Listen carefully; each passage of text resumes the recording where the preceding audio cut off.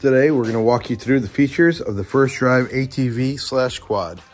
Now this particular machine has a lot of different features in it. It comes with uh, EVA wheels, which are foam based wheels as you can see. You press into these things. So you, you have a little more grip than a normal type of plastic tire. You have a leather seat right on the top. You have grip throttle right over here. So in order to go forward, you would just twist the throttle over here. Over here, you have your on switch. You have a TF slot over here. So as long as you have uh, music on the card, it'll start playing to lower your volume. You would uh, lower the volume over there. To skip the track, you just click forward over here. And so on, depending on how many MP3s you have on the little SD card slot.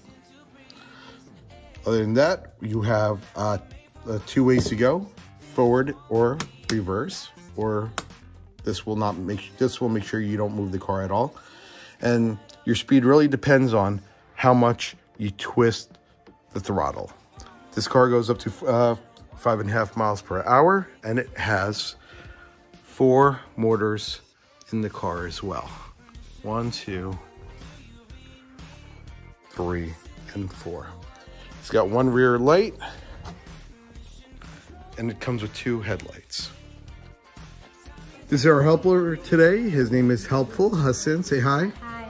And he's going to demonstrate this car. Now he is four foot nine, and he's also 73 pounds, just a little higher than the 70 pound limit that we have for this car.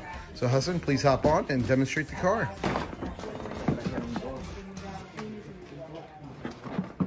And you're. Let's see a, let's see a K turn. Go into reverse. Come forward. Reverse up again. And let's use full throttle on this thing.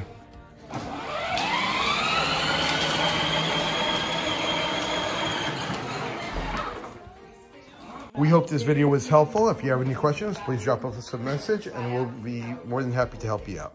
Thanks again.